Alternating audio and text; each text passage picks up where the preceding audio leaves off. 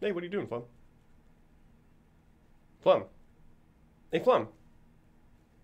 Oh, sorry. Didn't see you there. What are you doing, man? Oh. Uh, just working on my character sheet. New cleric. Oh, sweet. Let me take a look at that. Yeah, man. Take a look. Okay, cool. Uh, why, why, why do you have 12 attack spells? Well, I mean, it is D&D. Gotta attack things, right?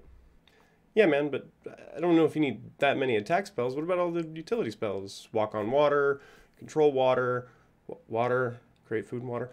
Clerics got a lot of water stuff, don't they? Yeah, man. But I like having options when I attack.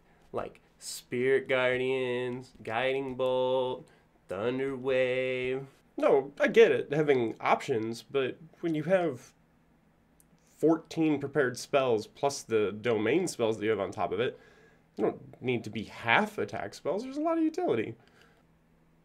Nah, man. All that stuff's weak. I want to be able to deal maximum damage with every spell slot. What if I use all these utility spells and then I don't have anything to use against in a fight? All my spell slots are gone, and all I can do is cantrips. Oh, Flum. Killing me, man.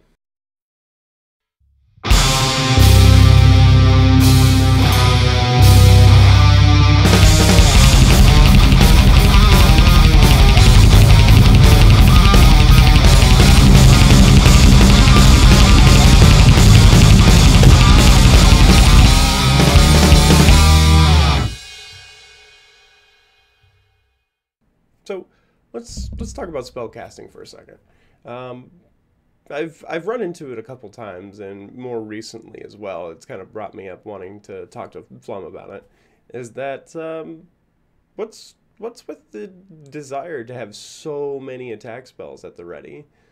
Um, options are good, but when like how often are you using all of these different attack spells if it's just dealing damage? And I've seen clerics are kind of the worst culprits of this.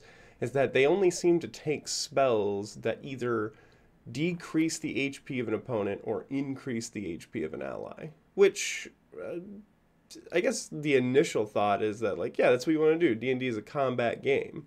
There's a lot more to deal with than just the health resource. Um, there's a lot of utility that can be used, and maybe it's a little different from table to table, but I don't know.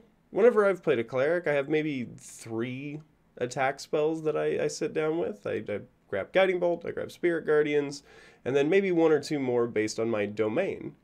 Um, but I see a lot of people that, like, aside from their domain spells, which are required, which should mean that if they have attack spells in the domain, like if you're Tempest, Light, things like that, you should probably have less attack spells prepared because those ones should already be really good for your domain.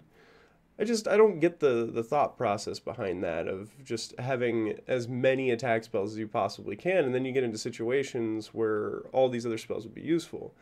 Not to mention, I sometimes see it on the other side that casters will, or especially clerics, will have three different revival spells simultaneously. Um, for me, with the exception of t- times that I one have a diamond worth the value, or I know uh, it's going to be a super dangerous. I pretty much only ever have gentle repose at the ready. Uh, that's kind of like the quick. I'm going to get you right now.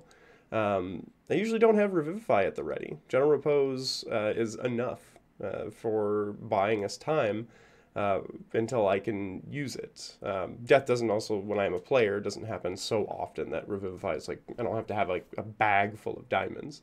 Uh, obviously, results may vary, but I don't know. It's just a weird thing that I've noticed, and I wanted to know what you guys thought of it.